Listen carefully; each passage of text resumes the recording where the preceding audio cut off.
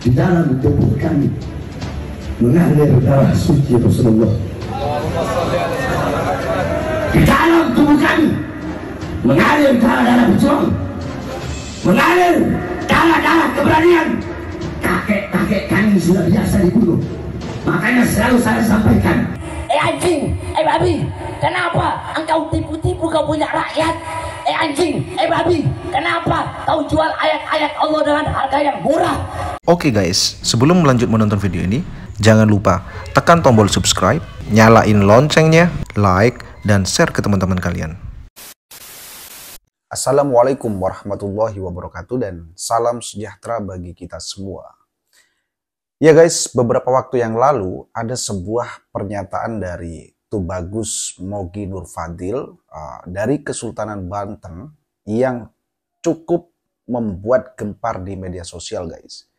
Di mana beliau mengatakan bahwa meskipun Habib-Habib dari klan Balawi di Indonesia belum pernah ada yang melakukan tes DNA, tapi ternyata guys, menurut beliau uh, dari kalangan internasional sudah ada Habib-Habib dari Bani Alawi uh, Yaman yang melakukan uh, tes DNA.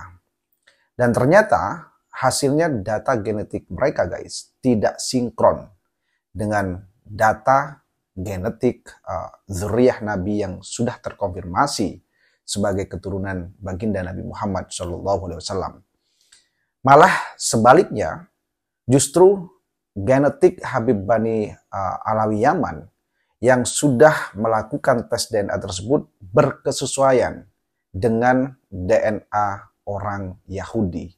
Oke, kita simak dulu uh, video berikut ini guys. Ternyata meskipun di Indonesia ini Habib-Habib belum ada yang menyatakan sudah, tapi ternyata di kalangan internasional sudah ada kalangan Balawi Yaman yang melakukan tes DNA.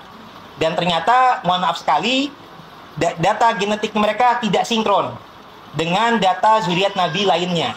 Karena kode haplogrupnya berbeda dan belum ditemukan juga uh, SNP mutasi genetik baik ke Hasani maupun Husaini. Kalau haplogrupnya yang terbukti tercover dengan Bani Hasim yang lain haruslah berhaplogrup J1. Nah, sedangkan haplogrup mereka adalah J. Nah, J ini ternyata mohon maaf sekali dari data jwisdna.net itu malah terklasifikasi dalam kalangan keluarga keturunan Yahudi Askenazi dari Kaukasia. Dan ini terbukti dari jwisdna.net dan juga mohon maaf sekali dalam metadata ini adalah para Yahudi Yaman itu cukup banyak. Nah, Yahudi Yaman memiliki tradisi kebudayaan turun-menurun yang sama persis atau serupa dengan mereka. Baik dari musiknya, dan tariannya, Nah, sedangkan dalam Islam ada hadis, barang siapa yang mengikuti kaum tertentu adalah bagian dari kaumnya tersebut. Nah, jadi... Ya, itulah penjelasan lengkapnya guys. Dan tentu saja apa yang disampaikan oleh beliau tersebut semakin memperkuat kajian ilmiah yang dilakukan oleh Kiai Haji Imaduddin Usman yang mengatakan bahwa habaib dari klan Balawi di Indonesia belum terbukti atau belum terkonfirmasi bahwa nasabnya tersambung kepada baginda Nabi Muhammad SAW. Dan uh, tidak sampai di sini guys, bahkan baru-baru ini ada juga pernyataan seorang Habib dari klan Balawi, yaitu Habib Hussein Bagil yang menurut saya lagi-lagi memperkuat kajian ilmiah Kiai Haji Imaduddin Usman dan sekaligus membenarkan pernyataan Tubagus Mogi Nur Fadil dari Kesultanan Banten tersebut yang mengatakan bahwa genetik uh, habaib dari klan Ba'alawi berkesusayan dengan genetik orang-orang Yahudi. Assalamualaikum warahmatullahi wabarakatuh. Menanggapi eh, soal tes DNA, ada seseorang yang mengatakan bahwa nasab habaib ini menyambung hingga kepada Yahudi maka saya benarkan itu penelitian pakar genetik yang mengatakan nasab habaib ini mirip dengan Yahudi betul. Saya setuju karena apa? Lihatlah nasab Rasulullah Shallallahu Alaihi Wasallam. Sebagaimana dikatakan bahwa Nabi Muhammad ini memiliki nasab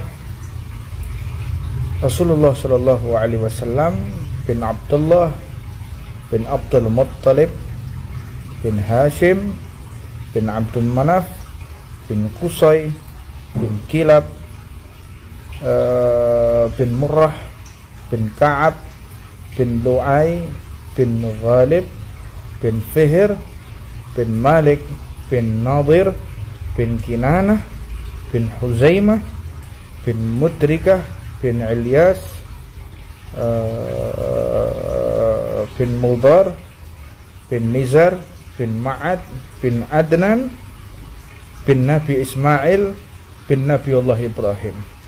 Nabi Ismail itu yang menurunkan Rasulullah. Sedangkan Nabi Ishak yang menurunkan Yahudi. Jadi ada hubungan kekerabatan memang sepupu. Untuk batuk datuknya para habaib dengan datuknya orang Yahudi itu sepupuan memang memang jadi kalau ada penelitian bahwa habaib itu mirip dengan gen Yahudi ya betul loh pancen memang sepupunya kok ya. Jadi sudah betul itu orang mengatakan bahwa habaib itu mirip dengan Yahudi kalau ditarik ke atas genetiknya. Betul penelitiannya betul dan bahwa nasab itu memang betul. Cerdaslah dengan ilmiah. Wassalamualaikum warahmatullahi wabarakatuh. Keturunan Yahudi mau keturunan Nazi mau keturunan Cina mau keturunan apa Abu Lahab mau keturunan Abu Jahal mau keturunan siapa aja itu nggak masalah. Yang penting perilakunya baik. Dan kalau ngaku-ngaku keturunan Nabi itu wajib hukumnya membuktikan diri dengan tes garis nasab dan tes DNA itu loh jangan salah loh. Saya tidak tidak gimana-gimana dengan orang Yahudi atau dengan yang lain-lain gitu intinya itu gini kalau ada orang mengaku-ngaku keturunan Nabi itu harus dibuktikan. Pengakuan itu harus disertai bukti gitu loh. Kalau cuma ngaku-ngaku keturunannya Hitler atau ini enggak, enggak bagi saya enggak ada enggak ada enggak ada urusan dengan saya. Tapi kalau ngaku keturunan Nabi, nah ini Nabi itu sangat saya cintai ya. Iya guys, menurut saya Habib Hussein Bagil ini sangatlah berani mengambil sebuah resiko karena menurut saya guys, apa yang dilakukan uh, oleh beliau itu, yakni dengan uh, beliau berkata jujur seperti itu guys, tidak menutup kemungkinan beliau akan dibenci khususnya oleh uh, para habaib dari klan Balawi sendiri. Ya, tapi mungkin itulah yang dimaksud katakanlah yang benar walau pahit rasanya. Sekian video kali ini dan terima kasih.